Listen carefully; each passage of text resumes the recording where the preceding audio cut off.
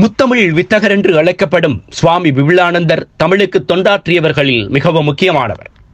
தமிழையே மூச்சென்று சுவாசித்தவர். இவர் ஆற்றிய தமிழ் பணிகளும் சமூக சேவைகளும் இவரை உயர்நிலைக்கு இட்டுச் சென்றது. ஆசிரியராக தமிழ் பண்டிதராக விஞ்ஞான பட்டதாரியாக பாடசாலைகளின் முகாமையாளராக பல்கலைக்கழகங்களின் தமிழ்துறை பேராசிரியராக அறிஞராக ஆராய்ச்சியாளராக மொழிபெயர்ப்பாளராக வாழ்ந்து தமிழுக்கும் தமிழ் சமூகத்துக்கும் பெருந்தொண்டாற்றினார்.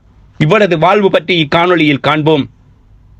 இலங்கையின் மட்டக்களப்பு மாவட்டத்தில் காரதீவு எனும் ஊரில் ஆயிரத்தி எண்ணூற்றி தொண்ணூத்தி இரண்டாம் ஆண்டு மூணாம் மாதம் இருபத்தி ஏழாம் தேதி பிறந்தார்.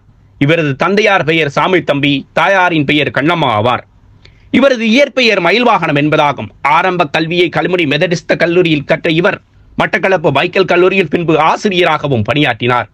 ஆயிரத்தி தொள்ளாயிரத்தி பன்னெண்டில் கொழும்பு தொழில்நுட்ப கல்லூரியில் விஞ்ஞானம் பயின்று ஆயிரத்தி தொள்ளாயிரத்தி பதினாறில் அறிவியல் பட்டத்தையும் பெற்றுக்கொண்டார் இவர் ஒரு தமிழ் ஆசிரியராக மட்டக்களப்பு மைக்கேல் கல்லூரியில் தனது கல்விப் பணியை துவங்கினார்.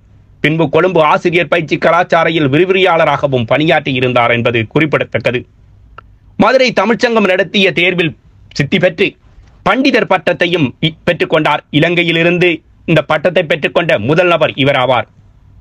யாழ்ப்பாணம் யோகர் சுவாமிகளுடைய பழக்கம் துறவுள்ளம் படைத்த மயில்வாகனத்தை விபுலானந்தராக்கியது. இவர் துறவு பூண்டாலும் மக்களை விட்டு விலகவில்லை. சமூகத்தில் இருந்த துன்பத்திலும் மகிழ்ச்சியிலும் பங்கெடுத்திருந்தார். ஆசிரம வாழ்க்கை முடிந்து சுவாமி விபுலானந்தர் என்னும் குரு பட்டத்தை ராமகிருஷ்ணரின் நேரடி சீரரான சுவாமி சிவானந்தரிடமிருந்து பெற்றுக்கொண்டார் பிரபோதய சைதன்யர் என்ற பட்டத்தையும் பெற்றார்.